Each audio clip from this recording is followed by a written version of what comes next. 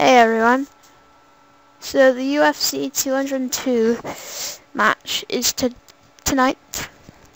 And to build up some hype, I want to know if you guys are either Team Diaz or Team McGregor. Honestly, I'm Team McGregor. Because he looks like my brother.